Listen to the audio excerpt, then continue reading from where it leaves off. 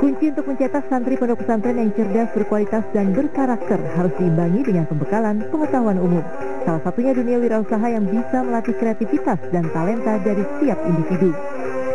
Sebagai bentuk kepedulian terhadap kualitas lulusan pondok pesantren, Chairman and CEO MNC Group Haritanu Sudibyo berdialog dan berbagi pengalaman seputar dunia kewirausahaan dengan para santri di pondok pesantren Bustanul Muta'alimat di Blitar, Jawa Timur. Saya rasa di pondok juga perlu dikembangkan selain pendidikan agama, juga pendidikan yang lain supaya mereka juga bisa memahami lebih baik lagi tentang usaha. Ya tentunya di bidang apa itu sesuai bidangnya masing-masing ya.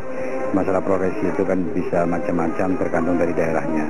Tapi perlu dikombinasi dengan tentunya eh, pelajaran-pelajaran yang mengarahkan mereka pada satu karir yang bisa jadi pengusaha tertentu gitu. Karena Indonesia itu perlu sekali untuk menambah jumlah pengusaha di Indonesia karena sangat kurang, apalagi pertumbuhan penduduk yang sangat pesat. Setiap tahun kebutuhan lapangan kerja itu sangat besar. Sementara itu saat melanjutkan safari Ramadan ke kota Kediri, Hatim menggelar silaturahmi dengan wali kota Kediri Abdullah Abu Bakar. Safari Ramadan dilakukan untuk mempererat ikatan persaudaraan dari berbagai elemen masyarakat demi terciptanya Indonesia yang bersatu. Dari Jawa Timur, tim liputan MNC Media melaporkan.